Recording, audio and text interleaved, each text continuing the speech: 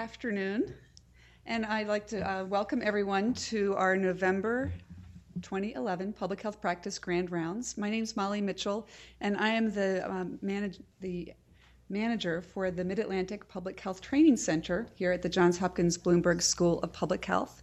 And on behalf of the School of Public Health, as well as the Maryland Department of Health and Mental Hygiene, I'd like to just welcome everyone to today's presentation on Maryland's Youth Suicide Prevention Program, A Caring Community Saves Lives.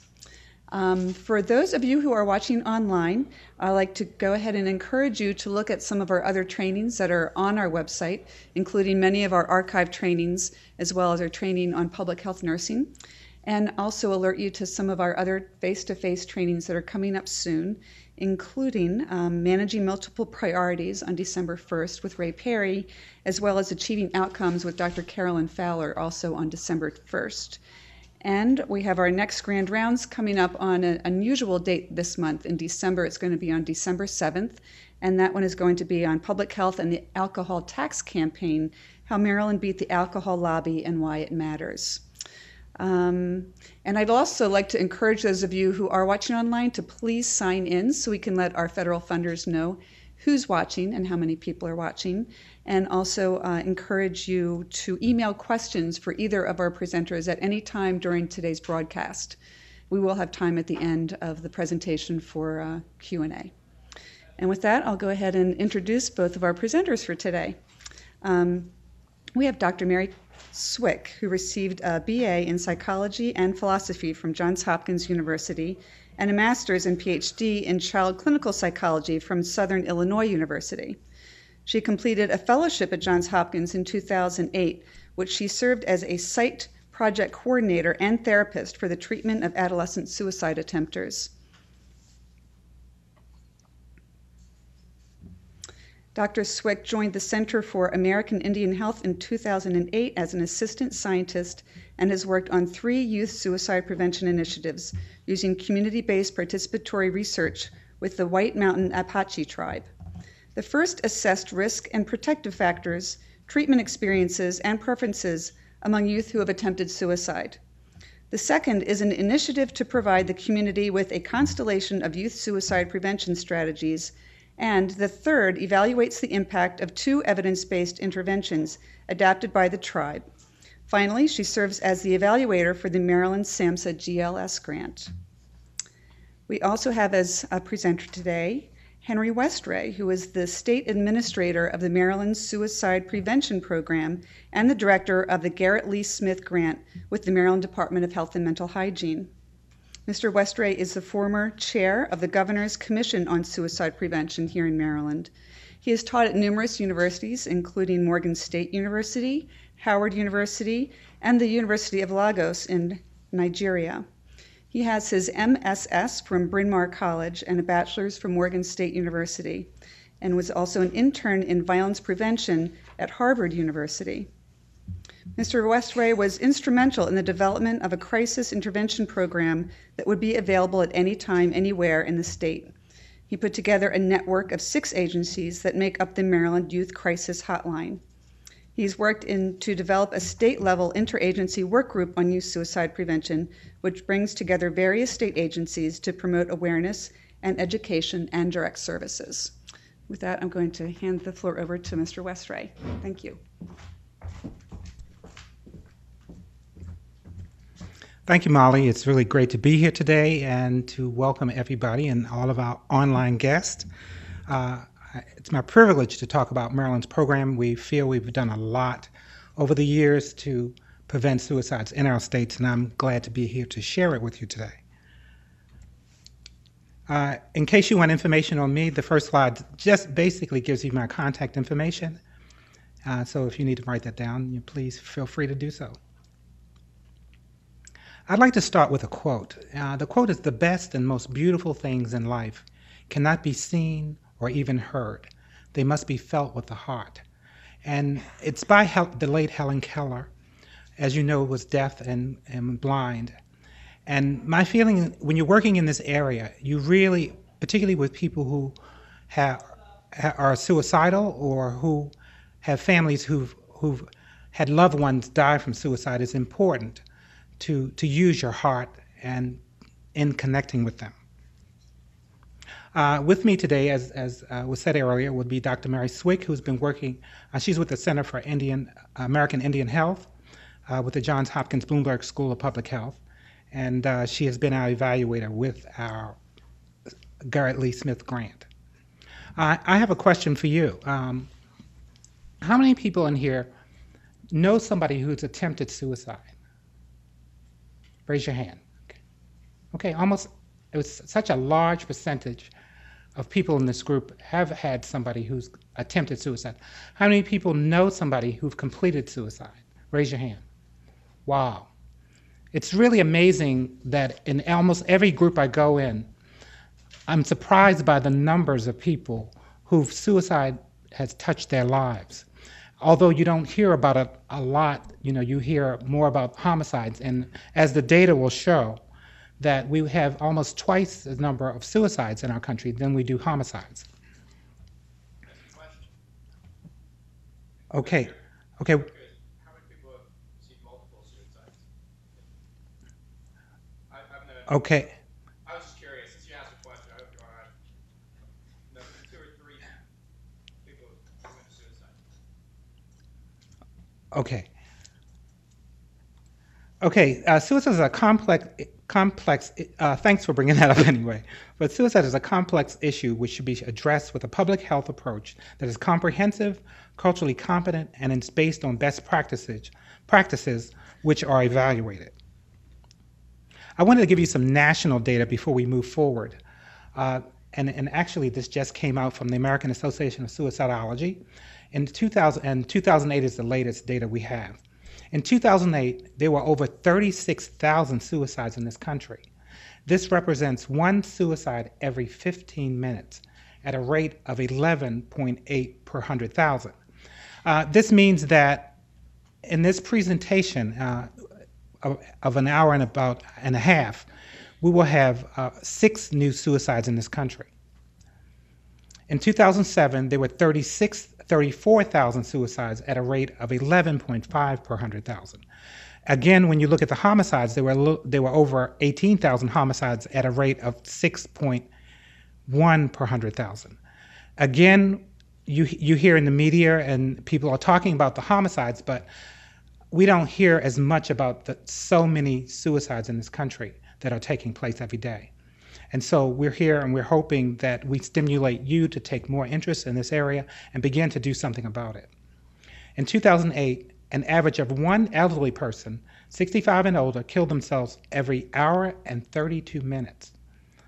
Uh, it's interesting to note in the 2000, I looked at some of the data from 2004 to 2008, uh, looking at the group that had the highest rates, and we I saw some changes. Um, I looked at in, 19, in 19 I'm sorry, in 2004, 2006, 2007, and 2008, the age group which had the highest rate of suicide was from 45 to 54, which is a change. I don't know if this is a trend or what, but you know, I was kind of surprised to see that. Usually it's the elderly.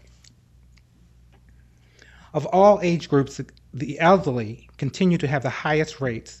In 2008, there were 5,755 elderly suicides at a rate of 14.8 per 100,000. Of these deaths, uh, of all deaths, sorry, uh, suicide ranks number 10 among all deaths in this country. Anybody know what the number one uh, reason people die in this country from is from? Someone from the audience? You can just yell it out. Is it car accident?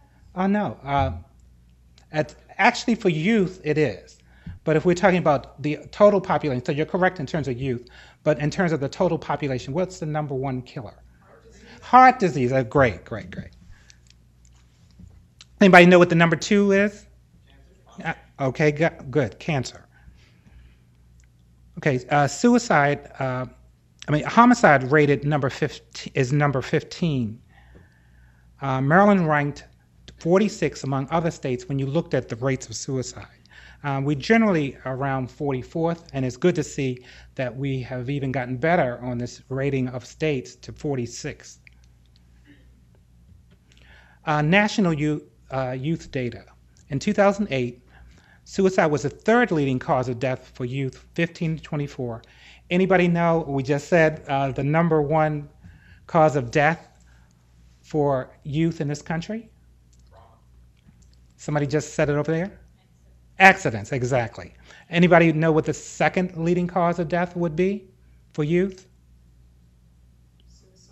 Uh, suicide is the third leading cause. Homicide? Homicide, exactly. It's homicide. So you have accidents, uh, homicides, and then suicides. Among youth aged 20 to 24, uh, uh, uh, among youth age uh, the age youth 20 to 24 had the highest rate of suicide at 12.6 per 100,000. And uh, suicide consistently has been the second leading cause of death for college youth. Youth suicide rates increased more than 200% from 2000 uh, from 1950s to the late 1970s, and from the 1970s to the mid 1990s, it remains pretty stable. From 19, what we saw in 19, um, I'm sorry, in 2007 and 2008, we saw slight increases. Public health burden. Family and friends of those who die, of course, are, are part of the, feel the burden of the loss of a loved one. And it's been estimated that for every one suicide, there are 25 people who are affected by that death.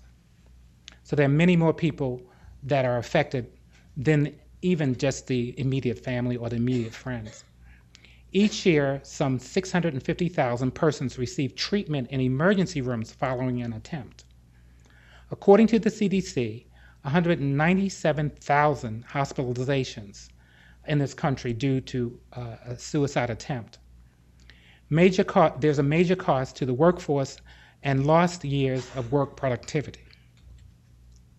Um, I'd like to bring up my colleague, uh, Dr. Mary Cwik, who's going to talk about Maryland data.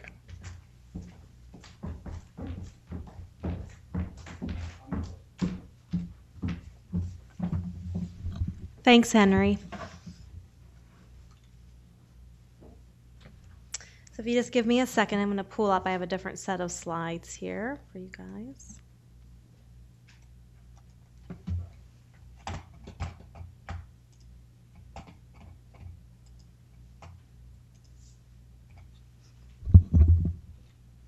Great. So I'm going to briefly go over some Maryland data that comes from national sources.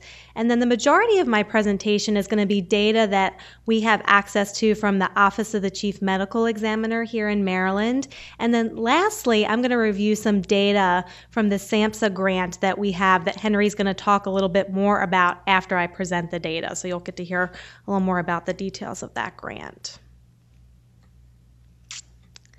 So, um, many of you might be familiar with the National Violent Death Reporting System, and Maryland is one of 16 states that participates in that system. So, here we just have some general data from the NVDRS here. And so, I don't think any of this will be surprising um, to you. The one thing you'll note is the data is from 2008, and so some folks may wonder why don't we why we don't have more recent data. And unfortunately, that's a that's a lot of the nature of national suicide data. Is we're usually usually a few years behind in getting the data because they have to get it from different sources and verify and do different things. And so, unfortunately, it takes a little while for, for it to get out here. Um, to be mindful of time, I'm just going to let you guys look at that for yourselves. So, another piece of information we have about Maryland that comes from the American Association of Suicidology is by their calculations, we had 507 deaths in Maryland in 2008 that is total. That's not youth deaths. That's all ages. And Maryland is ranked 46th, as Henry said, in comparison to other states. So that means Maryland is doing well. Um, again, we no deaths are acceptable, but um, in comparison to other states, um, we have lower numbers. And there you can see the annual suicide rates. I'm sure some of you like to see numbers in that way, is nine per hundred thousand. So, um, one of the reasons I'm presenting this data from the Office of the Chief Medical Examiner is this is part of the data that we have access to through Henry's position in the state and through the SAMHSA Garrett Lee Smith grant. It's very much um, just sort of real world data that we get from from the office of the chief medical examiner. And you'll notice it's fairly basic data. So a lot of it's demographic type information and that's because that's really what they have available. Um, so that's what you'll kind of see see next. But we are able to have more recent data by going through the office of the chief medical examiner. So here you can see we've got suicides in maryland for all ages from 2007 through 2010, just to give you a sense of total numbers in the state here. And so you can see one thing, and I've got to see, I've got a point with my mouse here, is that in 2009, there was an increase um, in the number of suicides. It, the rate um, and total numbers are usually fairly stable across years. There's some small fluctuations up and down, but there seemed to be a little bit of a larger increase in 2009 in Maryland. And we also are seeing that um, nationally. So when we talk to our colleagues from other states, they seem to be um, seeing that same thing. Does anyone have a guess in the audience as to maybe what happened around 2009 that might have led to an increase in suicides? Anybody have an idea?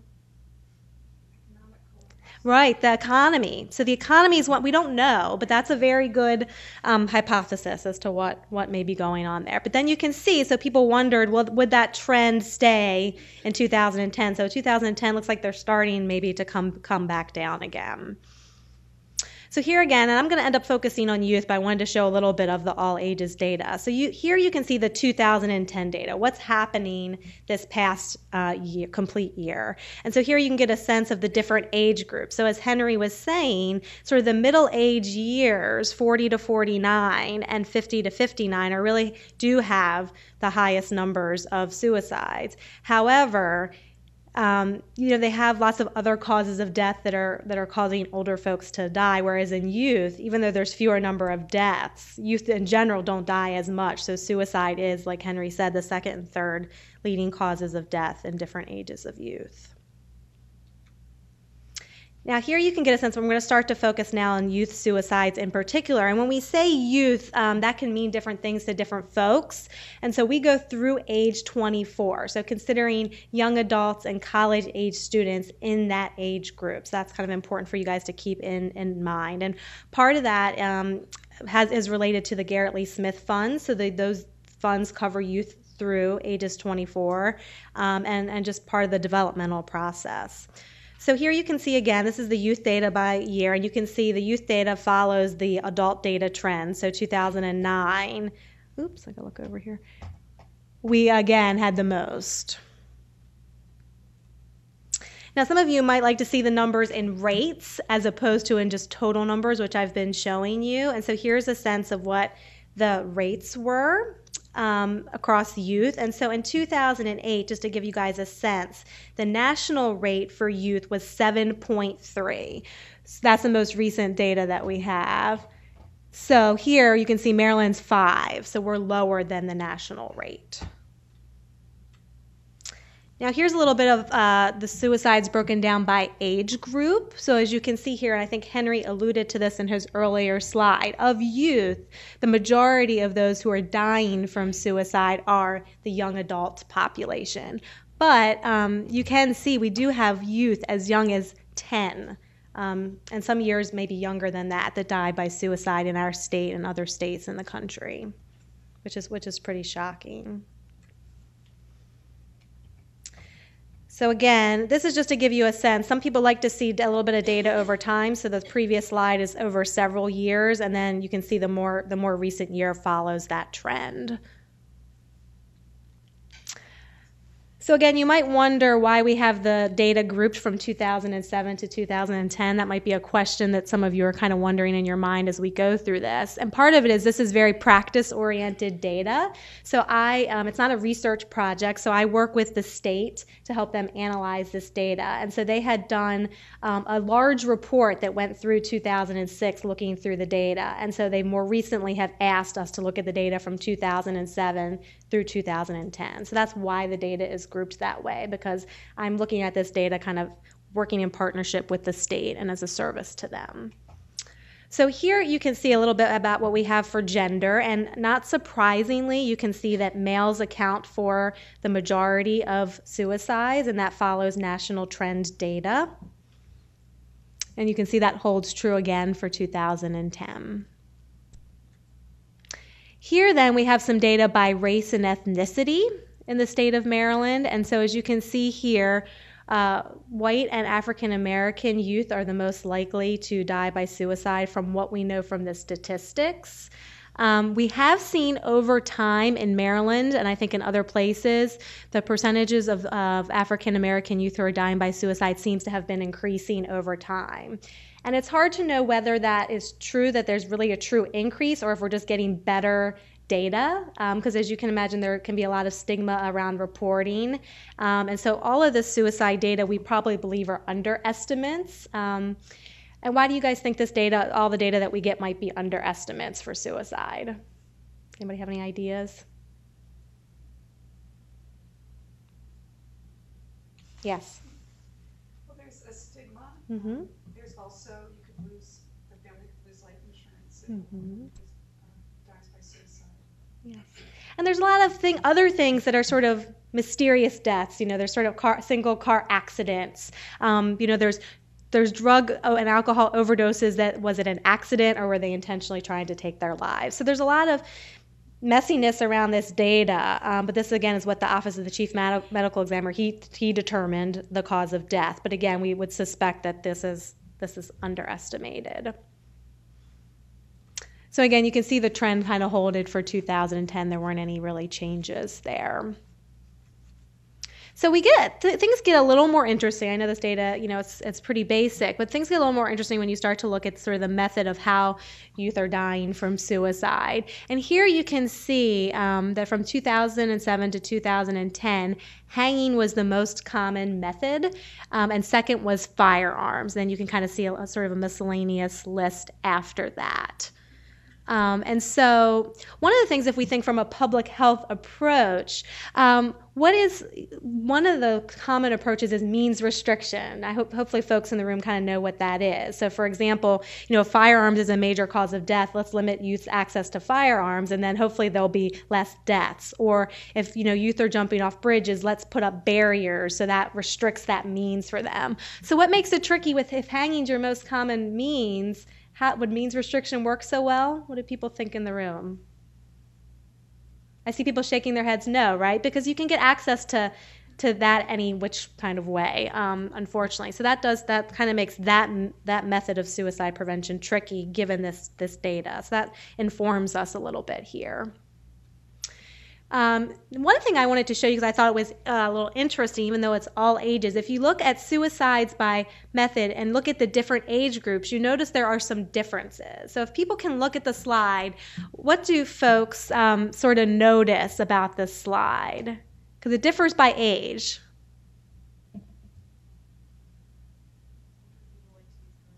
Yes, older people are using guns and younger people are using hanging. So that's that's that's interesting, and you you might kind of wonder sort of why that is.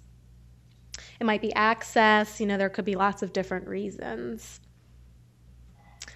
Um, so just to give you a sense, because I know you're probably thinking, well, gosh, we're just looking at data from 2007 to 2010 or 2010, but what's kind of been happening over time in Maryland? So this gives you a sense from year 2000, so this decade, basically, of what's been happening. And you can see that there is some fluctuation in the total number of suicides, but, you know, it's not, there are not large fluctuations. And there was, there's kind of this decrease here in 2008 and like we've noticed there was this kind of increase again in 2009 um, you know and one of the things that that is really talked about now in sort of the suicide research literature and those who are really trying to affect change is nationally in Maryland, over all you know the years that we've been suicide uh, doing suicide prevention, it's really hard to change this rate.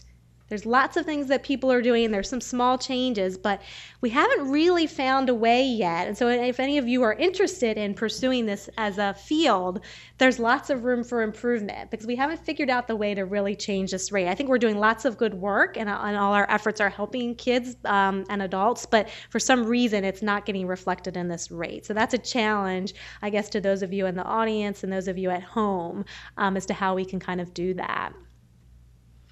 This is something else that I thought was sort of interesting over time to share with you because I know some of the other data um, is more basic. Is this is some changes in the method over time. So, what do folks uh, in the audience here notice about that?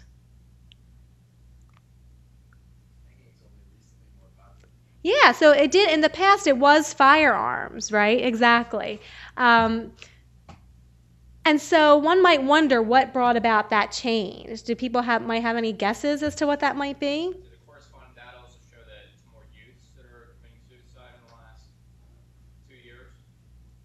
Well, this data this data for the for the change in method is just youth suicides right here. This is all just Oh, I'm sorry, youth. that's it, yeah. Yeah, that's okay. That, that would, would have been a good idea. So uh, you guys may not be aware of this, but around this time in Maryland, around the time when the change occurred, there have been some um, increases in gun legislation and trying to make it harder to get access to guns. Now, do we know if that's the direct cause? No, but that's one hypothesis as to maybe why this change is occurring. And we um, we see this nationally, um, and I even see this on the reservation that I that I work um, work in. So um, a little bit of data, and I'll try to go through this quickly because I want to make sure Henry, he's going to talk about this grant. Um, so one of the things that Henry's going to talk about is I don't know how many of you are familiar with gatekeeper trainings.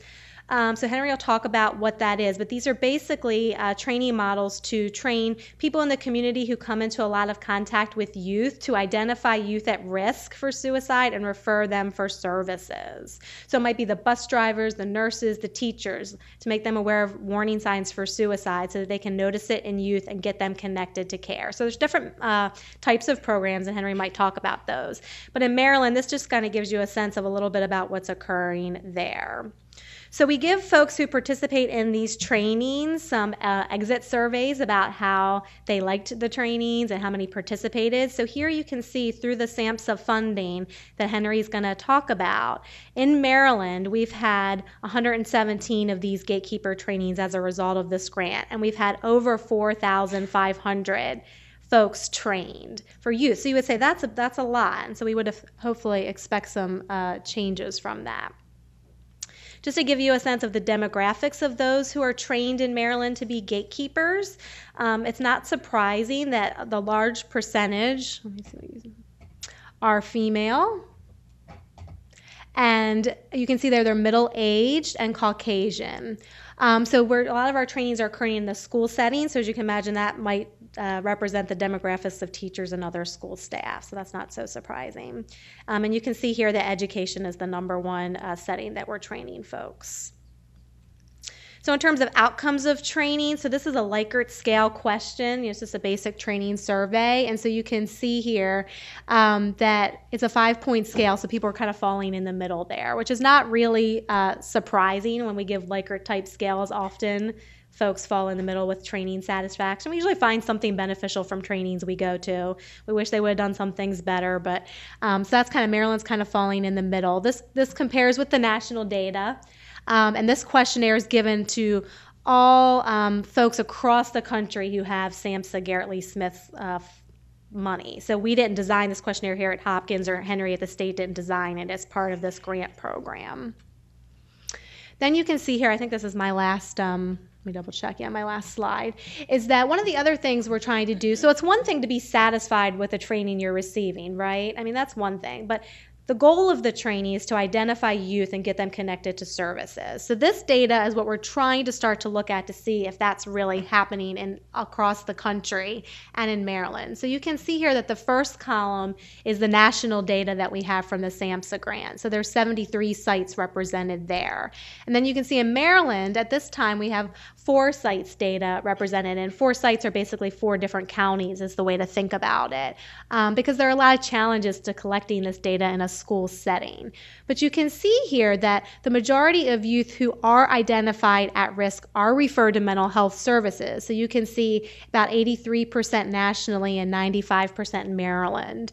And then you can see of those youth how many are receiving mental health services. And again, it's a large proportion. Um, one of the other things that you can see that's interesting in Maryland is that a lot of youth are also being referred to other types of services besides mental health. So this might be, you know, if they have a team of teachers at the school that follows, you know, youth that are having trouble, they're referred to that team, or maybe they're referred to tutoring or other kinds of services. Now, the last number is what you might see is youth who received follow up. Does anything strike folks about that number um, for Maryland? It's low compared to the, what we know from the national data. Now, one of the things here we have to have a caveat. We only have four sites, right? So we don't, we can't expect that to be representative data. So part of what we're learning by working with the schools as as researchers is that not all schools gather this data interestingly. And so now with our talks with the state, because we've shown them this data, they've said, oh, wow, that's because we're not really collecting it. We don't have a system in place, and maybe we should be gathering that follow up data. So they're trying actually, so this data is informing the state to then say, let's maybe actually have an, um, a statewide data collection and encourage all the schools to report follow up data. Because you can imagine if you have a youth identified at risk for suicide in your school, um, for lots of good, lots of reasons, whether it's from a lawsuit perspective, ethical reasons, just providing good care to your students, you'd want to ensure that there's some consistent follow up there. Um, so again, I'm going to stop here, and I know that Henry's going to come back and talk a little bit more about the program, and there's time for questions at the end because I know people may have questions about the data. So I'm going to take my slides down for Henry here. Oh, there you go, Henry. Thank you. Mm-hmm. Thank you, Mary. I'm left-handed, so I have to put it on the mouse on the other side.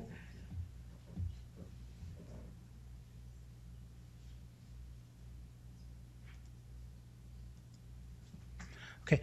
Uh, I thought I'd show, uh, we have a Maryland quilt of, of many uh, those who have been, who have uh, completed suicide in our state. And this was done by an organization called SPEAK, uh, Suicide Prevention Educational Awareness for Kids, who have been real advocates in our state for suicide prevention. They've done a lot of training and have gotten a lot of legislation, uh, which I'm going to talk about in this presentation, passed in, to help with this issue. Uh, there was an, uh, our program is really driven by those who have lost uh, loved ones to suicide. And the first organization we had in Maryland uh, that was a group of parents, many of whom had lost their kids to suicide, was a group called MAYS, Marylanders Against Youth Suicide. Uh, they uh, were instrumental in encouraging the state to do more about this, this issue, as well as anyone knows Susan White Bowden? She was a yeah, she was a real advocate in this area. She was a member of MAYS, and she was a friend of the governor as well, so which that helped as well. Her husband and her son committed suicide, and she's written several books on her journey to healing uh, after those suicides. But she was also very instrumental in terms of getting uh, legislators to get involved and getting the state involved in, in setting up something to address suicide in the state of Maryland, youth suicide. In, 1986, the Senate Joint Resolution Number 7 requested that the governor establish a task force on youth suicide prevention. That same year, House Bill 1221 was passed, which established youth suicide prevention uh, school programs. Other uh, governor proclamations in 1987, Youth Suicide Prevention Week was established in Maryland. And in 1990, the Maryland Youth Crisis Hotline Day was uh, proclaimed by the governor. In 1991, October was established as Youth Suicide Prevention Month in Maryland for the first time. Uh, that was a time we felt that everybody can look at this issue. We can do a lot of PR and reach the media so they can reach youth. We did a lot of radio and television at the time. Uh, we had all kinds of contests in school. We had one promotion in school where we had kids draw hotline cards, and one won uh, the competition, and we, we used that hotline card uh, to go out to all over the state of Maryland. The Maryland model has focused on uh, youth 24 years of age and younger, and we looked at prevention, intervention, and postvention. Uh, anybody know what postvention is? Anybody know what postvention is? Say that again? intervention? Yeah, it's kind of close, but it's it's after a suicide. Uh, it's in, important. Anybody here know what a cluster suicide is? Okay, uh, cluster suicide is one, uh, two or more related suicides. And we see this among young people. So it's important after there's a completed suicide to have interventions with family and friends and getting good information out to the public so to prevent others from completing suicide. Okay, uh, so we try to also, we've just done a uh, grid of post-vention services uh, in our state, uh, nationally as well. And that grid is on the governor's uh, website of the Governor's Commission on Suicide Prevention website. When I'll give you that information later, so you could always look that up. We also look at mental, in these three areas, we look at mental health, community, and cultural factors as well. The Maryland model. Uh, July 1987, the Governor's Task Force issued a report called "For a Better Tomorrow," for better tomorrow, a plan for youth suicide prevention in Maryland. Uh, this report outlined a comprehensive strategy to reduce youth suicides in our state. In 1990, the governor's task for, uh, the governor asked the Mental Hygiene Administration to hire an administrator, which was me, uh, to to to uh, lead the charge for suicide prevention and developing, uh, implementing the recommendations of the task force. Uh, the task force also asked for a council, uh, governor's council on suicide prevention, but the governor decided he wanted to set up uh, an interagency work group as well to work with the state designated person, which is myself, and I chaired that governor's interagency work group. this is a report for Better Tomorrow, and then in 1999, we saw the Surgeon General's call for action report, and I was a part of that group that developed this plan, uh, the call for action report as well. Uh, the governor's interagency work group on youth suicide prevention. Uh, it included the Mental Hygiene Administration, the Maryland State Department of Education, the Department of Human Resources, the uh, Alcohol and Drug Abuse Administration, and the Office of Chief Medical Examiners, and last it was the Department of Juvenile Justice. And there were several committees under the auspices of the work group. They included the Hotline Committee, the Conference Committee, the At Risk Populations Committee, the Research Committee, the PR Committee, the School Health Committee, and the Task Force to Prevent Suicide Prevention and Juvenile Justice, which I uh, chaired. Um, one of our major components of our program at the time was developing the first decentralized hotline uh, for youth. Uh, that was the Maryland Youth Crisis Hotline. It was the first time, by the decentralized, I mean, uh, this was the first time an 800 number had been decentralized such that you call that 1 800 number, and we have several centers that are connected around the state. And where, when you call, the caller will get the center that's closest to where they're calling. So that was the first time that had been done. Uh, uh, there's a national lifeline now. Uh, it's 1 800 273 TALK which was based on the Maryland model. Again, it was the first decentralized hotline for youth in the country. Its service began uh, August in 1990, and actually, I eat, I meet with, uh, we all eat together as well a lot. we do a lot of food in our meetings. Um, since 1990, we've been meeting monthly, so all of these hotlines that are part of the network uh, continue to meet and to coordinate services. Uh, they have immediate 24 7 crises intervention, information referral, and community outreach. Uh, we know that oftentimes when, when people call hotlines, uh, they have feelings of wanting to die and feelings of wanting to, to be saved at the same time. And we feel that if, if the hotline was there, someone for them to talk to, that you know they can, we can convince them that their lives are important and save their lives. So uh, that's the reason we were so excited about getting this service up. It was a state of the art back then. We'll talk about what we're doing later, no, doing now later in this presentation.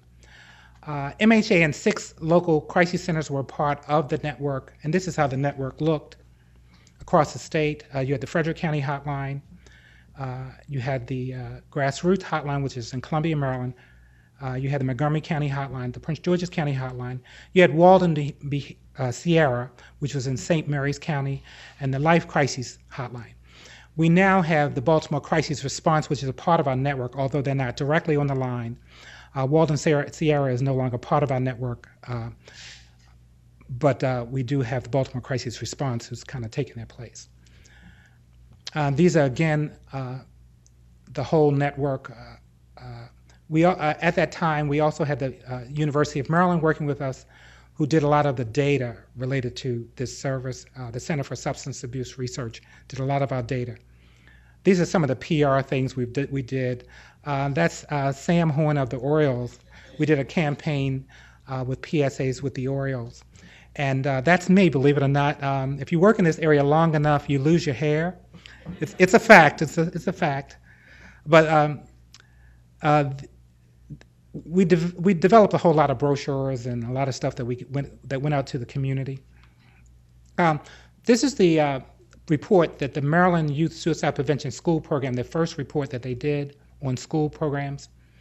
And there was a school health committee, and what the charge of that committee was to increase the awareness among school personnel and community leaders, to train school personnel, develop and implement school based preventive programs and pilot programs, facilitate cooperative agency efforts to utilize community resources in the development and implementation of teen suicide prevention programs.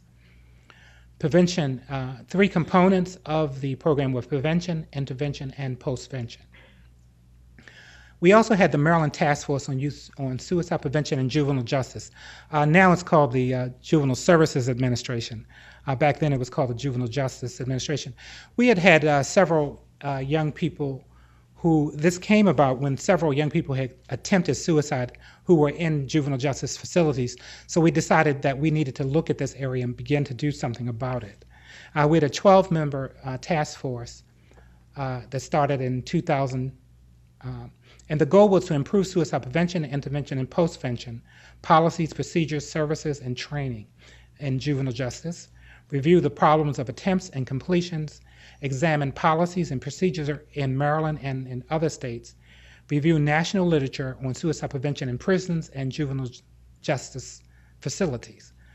And we also wanted to look at any model programs that were out there. We also consulted with national experts in this area, and we brought one national expert in to speak at our annual conference. Uh, we also were charged with finding funding, funding and develop training modules. Uh, one of the unique modules we developed with the Maryland Youth Crisis Hotline Network, at that time there weren't a lot of models out there in terms of training people in this area. And so we developed them ourselves and we had the Maryland, we had the Hotline Network train juvenile justice personnel. Um, we, we found some funds from juvenile justice themselves who paid for this training. And so uh, we had the hotline staff. Oftentimes, what we find is hotlines are the, are the ones who've been have had a lot of training in suicide prevention. When you when you look in any state, when you have hotlines, a lot of people you have uh, hotlines that address uh, this issue, and they oftentimes are trained and certified by the American Association of Suicidology. So we wanted to make sure we use this hotline network in terms of our training here in Maryland. Uh, our final put, report on this task force was issued in August 22nd in 2001. Most recommendations became a part of the DJJ's Secretary's Directive uh, in 2004. I'm sorry, 2000. I'm sorry, December 4th, 2001. Um, we do an annual conference every year, and this is one of our first. Uh, that was my co-chair, uh, Chris McKee, uh, who was with the Mental Health Association, and uh, that happened to be Jade Smalls, who was the first run-up to Miss America. Uh, it's, it's, a long story. We had uh, her her platform was suicide prevention, and I happened to meet her at a at a at a conference I was organizing in New York with the National Organization for People of Color Against Suicide. And she was gracious enough to come to our state and to work with us. Uh, these are some of the brochures from our conference. Now we have online registration, of course. We're modern now. Uh, I do want to put a commercial in at this point. Uh, we're having our 24th annual Suicide Prevention Conference. Uh, this conference is the oldest as well as the largest state suicide prevention conference in the country. And we're very proud of it. Uh, we just finished it in October. Uh, our next conference will be October 3rd, 2012. And if you want to be on our list, please email me and I'll put you on our mailing list to invite you to the conference. I wanted to talk about uh, a report, uh, linkages of life uh, to life, uh, the Maryland Plan uh, for Suicide Prevention. Uh, we thought it was time to update the task force report that was done in 1980, 80, in the 1987 and decided to, that we need to bring a, a, group of people together and we had something like 44 members from various uh, from various uh, organizations and various uh, state and local agencies to come together to, to update the Maryland plan and that's what we did between 2000 uh, it was to focus on uh, 2008 to 2012. I chaired that committee. Um, and the goal was awareness, intervention, methodology, and postvention. And it proposes to establish an Office of Suicide Prevention within the Department of Health and Mental Hygiene Administration. Uh, we didn't get an office, but I'll talk about uh, what we have gotten so far, and one day we hope to be able to get an office on suicide prevention in state government. Develop a more coordinated prevention, intervention, and postvention uh, services across the state to include youth and young adults, including high risk uh, youth returning war veterans and their families. Address core components of youth suicide prevention programs by local school, systems, and other educational networks, increase funding for youth suicide prevention and postvention, including increased funding to the Maryland Youth Crisis Hotline and building capacity of that network. Uh, we wanted to develop a, a website and new technologies to address and help youth. We wanted to infuse cultural competence throughout uh, services for youth as well. And to develop a youth suicide prevention plan in each child serving agency. Okay, it will land somewhere. Increase in service training to local departments of correction and youth detained in local jails. One of the interesting things we found in juvenile justice uh, across the country was that we thought there were going to be many more suicides among youth who were incarcerated in, in these facilities. Uh, and we found that the, it wasn't a high rate of completions. And uh, some of the experts were saying this was due to the fact that they had such a structured program, they were always with somebody, generally, as opposed to the high rates of suicides in jails, uh, where there's no structured program, uh, a real structured program, as we see in juvenile justice facilities. Uh, we want to strengthen states' capacity to respond to crises and to serve at-risk youth in need. Increase the number and quality of trainers in youth suicide prevention, intervention, and postvention. Increase outreach in the number of trainings to gatekeepers and public and to the public around youth suicide prevention issues, and work with the faith, uh, faith community around, uh, around youth suicide prevention uh, implement a model for hospital urgent care suicide, uh, similar to what uh, there's a program called the post care follow up program for at risk youth communities. What we found is one state had, uh, uh, when per- a person came to uh, entered emergency room because they had attempted suicide, when they left the emergency room, they were sent a postcard several weeks after they, admit, they had been admitted. And they found that there was an effect just sending a postcard. It was a very simple thing to do. It didn't cost a lot. But they found it was a you know, really good result. So we were considering that program for our state as well. Uh, we want to establish a baseline listing of existing support systems for survivors and attempters. And we wanted to do this with, all, with no money. And then we were fortunate in 2008 that Maryland was granted a $1.5 million Garrett Lee Smith grant. Uh, and uh, Mary talked about some of the uh, data from this grant earlier, and I'll, I'll talk about some of it as well. But we were very excited to, to be able to get finally get some money to do some things. Um, uh, funding has been provided uh, to five cohorts of states, tribes, and college campuses to implement suicide prevention activities. Maryland was cohort four. Uh, we developed a grant advisory team, and that consisted of representatives from MHA, MSDE, uh, Hopkins, University of Maryland, And the goals of the of the of the grant was to strengthen local school programs to help high high risk counties to establish an array of community based programs, train gatekeepers, um, to fund organizations who are working with at risk youth. Uh, Al, Dr. Al Zachik, uh, who's at the Mental Hygiene Administration, was the, our principal investigator. I was the project director. I am the project director. Uh, Megan Crosby Buttinger is the from Hopkins is a project manager and done a wonderful job. And we, of course, our evaluator uh, uh, was as Dr. Mary Cwik, and we have as a research assistant Allison Dobb, who's with us today. Allison, is Megan here as well? Oh, Megan. Uh, I just have to say the partnership with Hopkins has been phenomenal, and you know, I just encourage other states to, when they ask me about the Garrett Lee Smith grant, to please partner with a university, and you know, provides that research element that and data that's so so needed. Okay, um, in terms of funding, uh, grantees, our subawards. Uh, we had first started, we had level one grants, which were school based grants, and we had 18 subawards in this area. Uh, our level two grants were high risk uh, counties, and these were counties we saw that may be high risk in terms of high rates or high risk because of high numbers. Because some of these counties are small, they didn't, their rates weren't based on 100,000 population, which kind of skewed the numbers. So we decided that we're going to not only try to fund the counties that had high rates, but to have high numbers in actuality. So we uh, funded three sub, awards in this area. Uh, level three grants were community based grants, and we had three sub awards in this area. We also uh, had special population awards to two sub awardees and specialized projects for two sub awardees as well.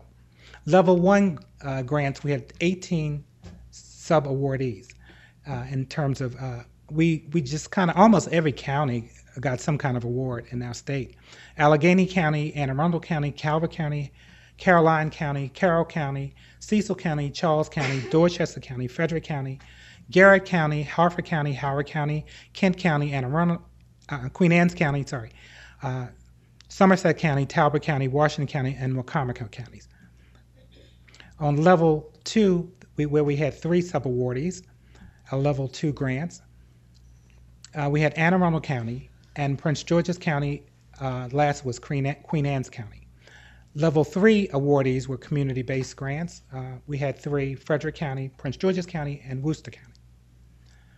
Uh, for sp- special populations, we had two awards, and we, we knew there were organizations out there that are working with special populations, um, and we so we wanted to fund some of these organizations and help them do their work better, and wanted them to be part of our program as well. And we fund we gave some funding to the National Organization for People of Color Against Suicide, uh, better known as NOPCAS, and they do outreach across the country to uh, communities of color in in, in this country. Uh, also, we wanted to we were seeing and actually some new research out that shows a high rate of attempts among gay, lesbian, bisexual, and transgender uh, youth in particular. So we wanted to, to, target this population for special funding, and we were able to give some grant, a grant to the Gay Community Center of Baltimore. Uh, other specialized projects uh, were in Worcester County Department uh, of Health. Uh, we they did some funding. We funded them to do some funding, uh, some I'm sorry, some outreach to college-age youth, and the Maryland Youth Crisis Hotline we started something called the Maryland Youth Crisis Hotline chat line, which started October 17th of this year. And I'll talk a little bit more about that uh, a little later. Uh, this is a slide that Mary had earlier. Uh, when we talk about the various models uh, that we have available, these are various programs that have been developed uh, that different states have been using across the country in terms of helping people address the issue of suicide prevention. And question, persuasion, and prefer is, is really the primary model that we're seeing across the country and in Maryland. We had 13 grantees who use this model.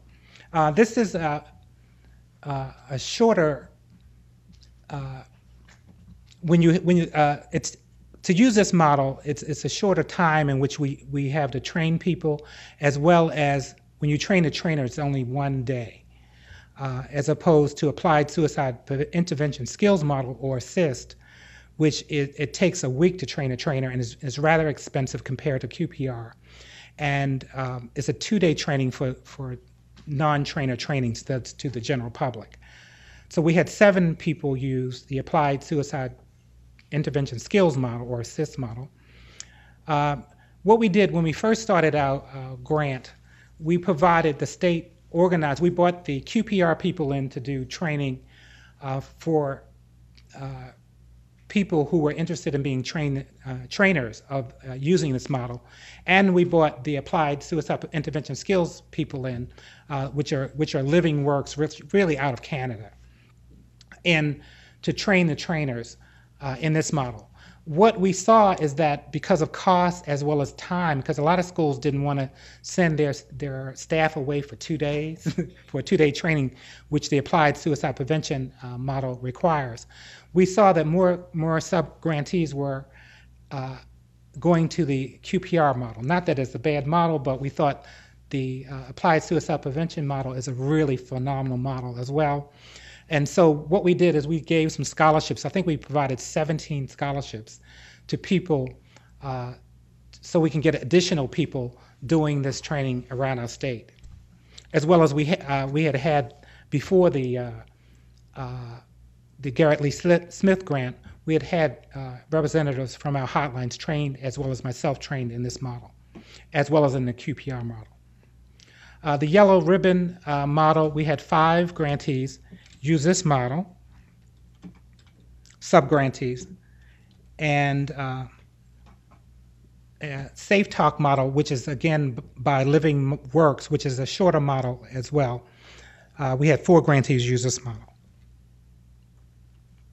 Um, I think Mary went through some of this. Uh, again, we had 3,683 people trained in the QPR model. The ASIST model, we had 180 four people. Uh, the Safe Talk, we had 230, and Yellow Ribbon 490. Uh, there may be actually more people trained in this uh, Yellow Ribbon, but we use the Survey Mon- Monkey to, to gather data, uh, not our traditional um, uh, uh, surveys that were used from, a, from the federal government. the Yellow Ribbon, um, so we had a total of 4,580 seven uh, trainees. Murray did go through the slide, so I will not go uh, talk about the demographic characteristics. Again, it was uh, predominantly female. The race was predominantly uh, white. I was kind of surprised at the age at 43. The average age was 43. Okay, we have some old people out there. no, 43 is not old. Okay. But I was kind of surprised. I thought we, uh, they, were, they, would, be a bit younger. Uh, these are some of the work settings uh, that people, uh, not surprisingly, uh, that uh, we trained people were from. not surprisingly, 88.4% were from education. Um, this is Ginkgo News. Ginkgo News is a, a, a quarterly newsletter that Megan uh, from Hopkins and the staff. Actually, we all kind of work on it together, but they kind of spearheaded this uh, wonderful newsletter uh, that comes out quarterly. And our online chat, uh, if you call, if you uh, go to www.facebook.com slash help for Maryland youth or to www.helpformarylandyouth.org, uh, you can chat you can chat with someone which is part of our which are part of our Maryland Youth Crisis Hotline Network 24 hours a day. Uh, I'm, I'm, sorry, that's the hotline is 24 hours a day, seven days a week, but the chat service is from 4 to 9, uh, Monday through Friday. I did want to say a few words about uh, suicide prevention, education awareness for kids. This is one of the organizations that really have been working with Maryland. Uh, Lisa Covington is on your far right, who's the president of this organization. And they have been really instrumental in terms of helping the state move forward. uh, and, and uh, do a lot in this area. One of the one of the projects they really helped. We were, for years we have been trying to get uh, phones on bridges. Uh, we were finding that uh, in our state people were jumping from the bridges, and particularly the Bay Bridge. And what we would see them do is they would pace. They would go to the center of the bridge and then kind of pace, and then they would jump over the bridge. And we thought that if we put some hotlines up there, that you know while they're pacing, maybe this they'll see one a number that they can call to talk to somebody. So we uh, were instrumental in getting those phones on those bridges and on several straight state bridges uh, with the help of, of, of Speak. In 2009, the governor signed the executive order to establish the Commission on Suicide Prevention, and this year he signed, that same year, he signed uh, Bill, House Bill 973, promoting the Youth Crisis Hotline in schools. We wanted to make sure that every young person knew of that number. Uh, the Governor's Commission on Suicide Prevention, and here's the website address in case you want to go. A lot of the data we've gone over today is on that website. I'd like to end with a quote. Sometimes our light goes out, but it's blown into flame by another human being. Each of us owes deepest thanks to those who have rekindled, rekindled this light. And I'd like to thank all of you who have worked so very hard to rekindle the spirits making Marylanders, Marylanders a caring community that saves lives. Thank you very much. And we're here for uh, questions and answers. Uh, we will hopefully we'll give you answers as well. okay. Thank you very much. Thank you. Thank you so much um, to both of our presenters. Um, and now is the part of our presentation where we do have time for questions and answers. And for those of you who are joining us online, you can simply um, click on that link on your screen and uh, send us an email question. And in the meantime, um, the floor is open for any questions we have from our live audience for either of our presenters. Um, I have a question that I can get started with. Um, when you were talking about uh, some of the youth suicide prevention models, I was thinking about a program that I've heard of nationally in which um, they reach out to gay teenagers um, called, I think it's um, It Gets Better. And it's different um, college students as well as celebrities who um, kind of give these videotaped messages to teenagers in high school who may be gay, lesbian, transgendered, letting them know that it does get better. And I'm wondering if you have any connection to that or can speak to the efficacy. Yeah, um, we, we have a connection to the Trevor Project, uh, which uh, the Prince George's County actually hotline, which is part of our hotline network, answers a Trevor line in the evenings nationally. Mm-hmm. Um, and uh, you know, as part of our grant, we wanted to do outreach for the, the gay, lesbian, transgender, bisexual community. Uh, actually, we, we did the, a forum with Mayor Schmoke. I mean, you know how many years ago that, that was. How, Mayor, Mayor Schmoke was here when, with the 80s. Uh, okay, so we did the first gay youth forum where uh, we had uh, Mayor Schmoke, as well as many other city officials in Baltimore. We had gay youth from all over the state come to talk about their issues to uh, the mayor, as well as we've worked with the Gay Community Center in terms of uh, offering trainings and you know access to resources uh, of uh, that we have. Great. Mm-hmm. Okay. Um, is that a question over here? Um, so I'm curious if uh, income level and uh, geography uh, proved a risk factor. I wasn't here for the first five minutes, so sorry if, if you covered that and I missed it, but uh, that was my question. Mm-hmm. Sure. So um, I think we have better data nationally in terms of geographic location. So, um, in terms of suicides, you do tend to see states that are in the West um, having higher suicide rates and states on the East Coast having lower suicide rates. You also tend to see states that have higher rural populations or that are more kind of spread out um, as high, having higher suicide rates. Um, in addition, one population that's extremely at high risk is Native American uh, reservations.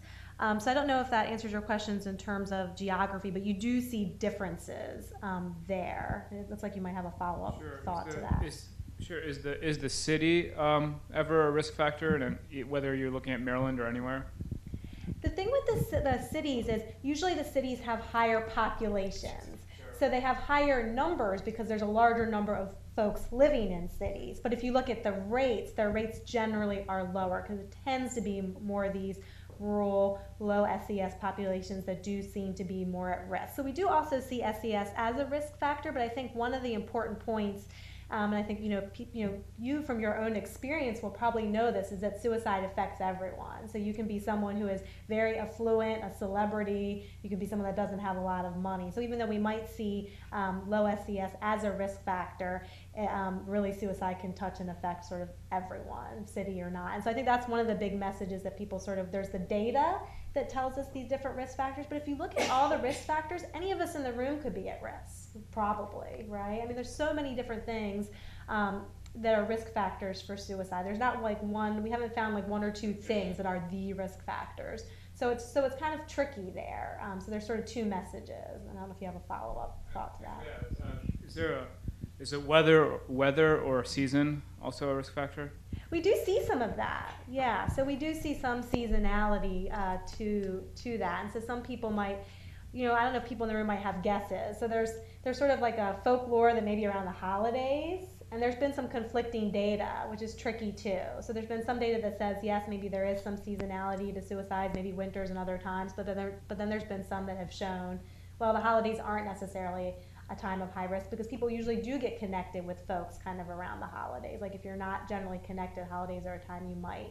So there's um, that's one of the things is that suicide research is compared to a lot of other fields in sort of mental mental health and public health, it is actually fairly new. So there's a lot of information on risk factors, but we do sometimes get conflicting information. So sometimes different research studies show different things, which makes it really um, challenging. So for those of you in the room that are students, which I'm guessing a lot of you are, it's a it's a very um, it could be a very rewarding and interesting area to get into because we are still learning. We we do know some things, but we're still learning. Yeah, I'm glad Mary did say that um, that we're all at risk, and uh, people who, uh, as we see the economy get worse and people lose their jobs and losing their homes, uh, they never thought of themselves as being at risk for suicide. You know, they didn't meet any of the traditional risk factors, and uh, but they're killing themselves. So you know, risk factors may change over time, as well as um, if you go to the Governor's Commission website, it will give you an analysis of some of those webs. Uh, if you look on the, in that website, we did put uh, analysis of risk factors. Uh, a lot of the research say the number one risk is a previous attempt. You know, if you've already, it's something about rehearsing it that make you more apt to complete it. One follow-up thought that you might find kind of interesting. It, de- it depends too on the population you're working with, as you as you might imagine. So the risk factors in that I um, among the tribes that I work with in the Southwest can look very different than the risk factors maybe for youth who are in you know Baltimore City. So that's why it gets really tricky. So something interesting in the reservation that we have found around seasonality, just to kind of give you something, is that we actually find that most youth on the reservation die um, in the summertime which might be different than you might because a lot of times people think like the winter or the holidays are high risk just kind of if you, if you kind of would guess. Do anybody in the audience have a guess as to why that might be on a reservation community why the summertime could be a high risk time for youth? Or in any community really? Yeah, they have a lot more free time. There's low structure, low supervision.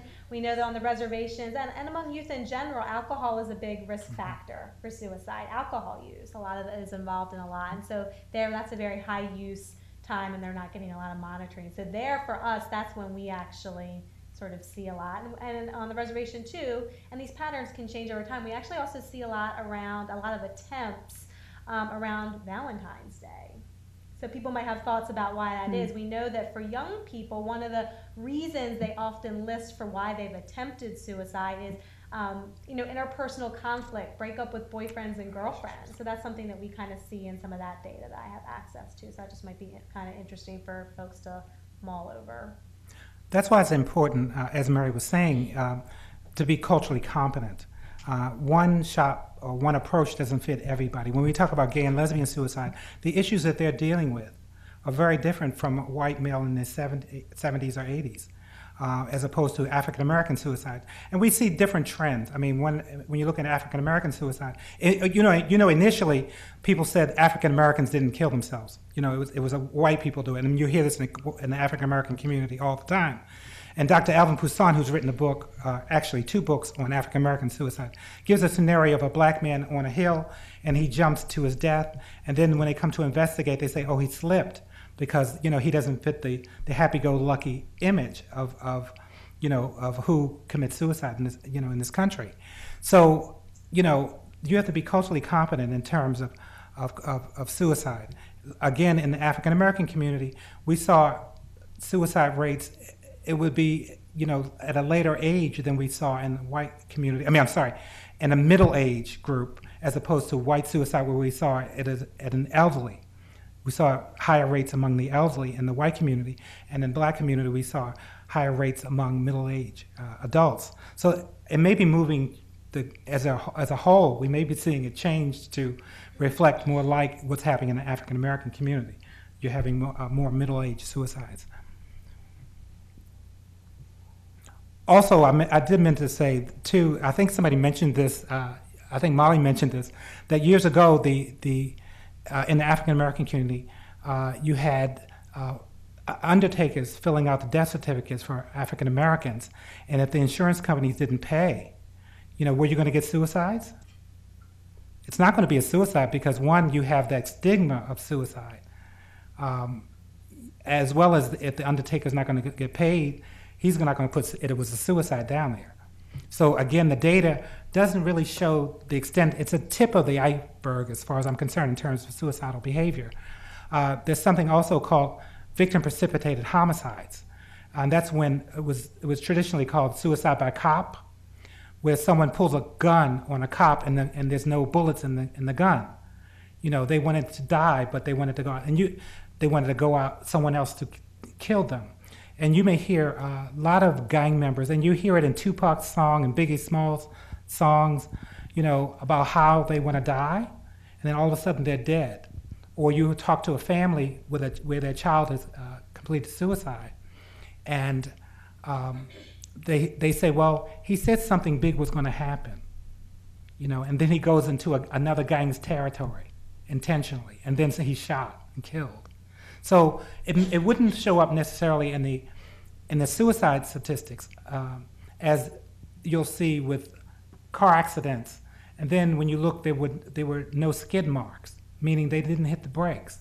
It may not be considered a suicide, but it is drug overdose, as Mary mentioned it earlier, where some people will continue to tease at death by taking more and more of the drug. They know the amount will get them high, but they'll tease at death by taking more and more drugs. Yes, I think we have another question. I know most of your talk was about um, youth violence, but I am fascinated about that middle age, um, and that's a new thing with the trend. There, is there research being done with that? Because sometimes I think, especially in suicide, because like you said, it's such a newer field with the research, as we catch it later you know, sort of after the fact? Are there people studying that age range into why? Some, what are some of the risk factors with that related as well? Okay, since I mentioned it, I should go get me. Oh, well, no. Well, you know, I, I, I, it's it's very new research. The data just came out. What was it? Last week? Was it last week? Yeah, the data just came out last week, so people haven't been able to really look at the data much. Um, you know, there's a speculation on my part that because of the economy, uh, a lot of these people are losing their jobs or can't find jobs. Uh, so we're seeing, you know, uh, more and more middle-age uh, suicides. And, and, I think um, I think it's great that you are interested in that age. I think hopefully people can hear me okay. Um, youth get a lot of attention, um, and, and rightly so. But also there's other groups that are getting ignored. So as you can see, you know the overall numbers and youth are small, but their rates end up being high, um, you know, too, and, it ends up being a high cause of death because they don't die by a lot of other things. And for us to you, to lose a young life by their own hands, there's just something emotional, you know, about that that, ca- that captures a lot of uh, clinicians and researchers' attention and federal dollars. Um, but and there's been other populations. You know, veterans now are becoming a big focus out there in the research world. But there has been talk that kind of the middle age and elderly, there is research done with those groups, but maybe not historically as much as some of these other groups. So I think if you're interested in that, I think that would be fabulous. But like you said, different things. You know, at that age, a lot of it. Um, is around economic kinds of things. So you'll hear, and again, it's hard to generalize, but you will hear, you know, about people losing their jobs, losing a lot of money in, you know, gambling or in the stock market. A lot of it's related to kind of position or status and job, or you know, maybe they had a breakup of a marriage or, or something like that. So you, or um, depending on how old they are, if they're having medical issues, we start to see a little bit more of that. That's definitely in the elderly, but you can start to see that in some middle-aged.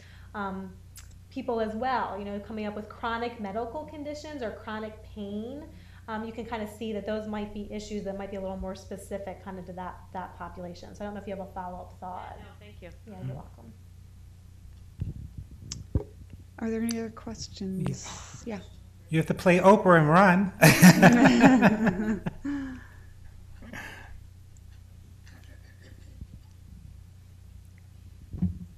Hi, um, thank you for your talk today. Um, I have a question about the uh, graph that you showed that showed the use of firearms declining while um, hanging and asphyxiation were increasing.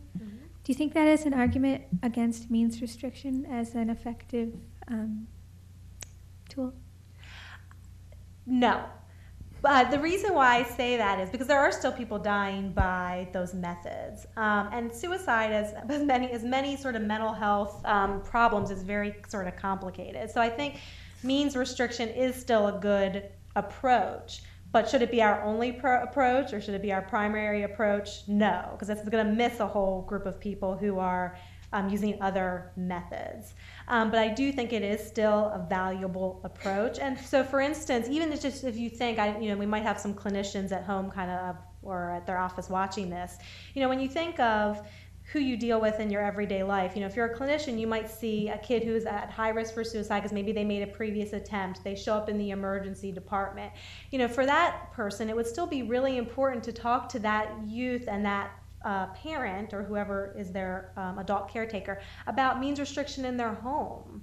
Um, so it's a different kind of means restriction. It might not be like, you know, let's ban guns all across the country or put barriers on bridges, but even just on a one on one basis, there is some evidence that talking with youth and parents about restricting means for, for youth who've made suicide attempts is really important because that doesn't to be frank, I mean, I've worked with some youth who've attempted suicide. Parents don't necessarily think about that and don't always get educated. And that doesn't cross their minds that maybe there's a lot of pills in the house. I should take them out of the house or I should put them away or I should give my youth her pills as opposed to giving her control over this or we do have this gun in the house.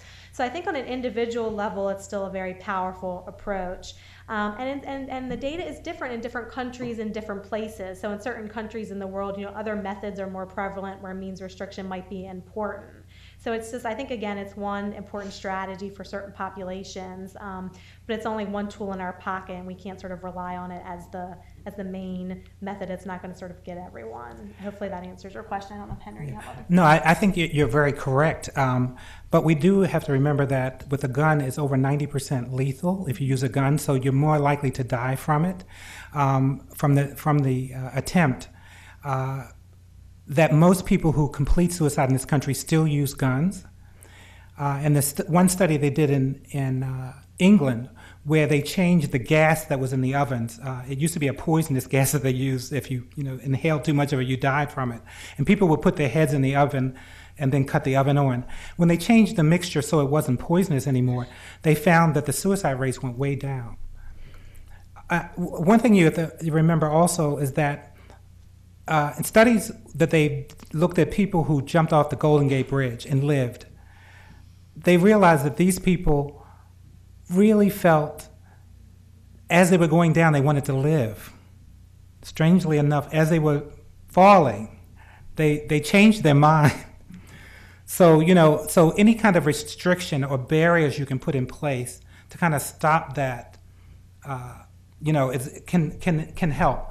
The other thing is that when you look at homicides, and, and most researchers say with the access uh, we have of homicides in this country compared to other countries is due to firearms. So firearms is an important component of, of a whole mixed bag of, of approaches to reduce suicides. Um, yeah, go ahead. Um, I know that it's been fairly new. The last few years, there's been a real emphasis on anti-bullying in schools at various ages. There's probably no data, but I wonder if what you think about that as a potential deterrent for um, youth suicide. Yeah, I, I just think anti-bullying, bullying has been going on for a long time. We're, we're paying more attention of, to it. Uh, most suicides are not, youth suicides are not related to bullying. We're hearing more about it. Um, there are usually more things going on um, uh, besides the bullying that, you know, because you have a lot of kids who are bullied. And, and one of the things we're seeing, a lot of gay youth are the ones who are being bullied around their sexuality. And when you realize that you're being bullied in school, maybe around your sexuality, and then you you, you have questions from God. You know, you, you you you prayed to God to take this away from you because you didn't want to be gay, and it didn't work. You still have those feelings. You can't talk to your friends. You can't talk to counselors. You can't talk to your teachers. You can't talk to anyone. So that isolation and that pain they feel um, is all part of that as well. So there are many other factors. What I'd like to do is look at suicide risk in terms of, let's say, a, a glass that's, uh, I think, uh, I, I can't remember who used this analogy once, but I thought it was, I think it was Iris Bolton who used this analogy once, which I thought it was a good one. It's a glass full of water, and then you keep pouring water in the water, and the water represents problems, and you keep pouring the water in the glass until it spills over you know, and you look in the glass and there's all these problems. People only see when the glass spills over. And that's what I see young people in particular. You know, they may have all these other problems, and even if there's a break of a relationship, you'll see young people will blame the girlfriend. If, let's say if a boy uh, breaks up with his girlfriend and she attempts suicide, uh, they will blame, I'm sorry, let's say if the boy committed suicide, they will blame the girlfriend. But they won't see that maybe he had a drug problem and maybe he had all these other issues, depression, is a component of suicide, of course. Um, maybe the, the, they didn't see all these other problems, but they, they only saw that precipitating event.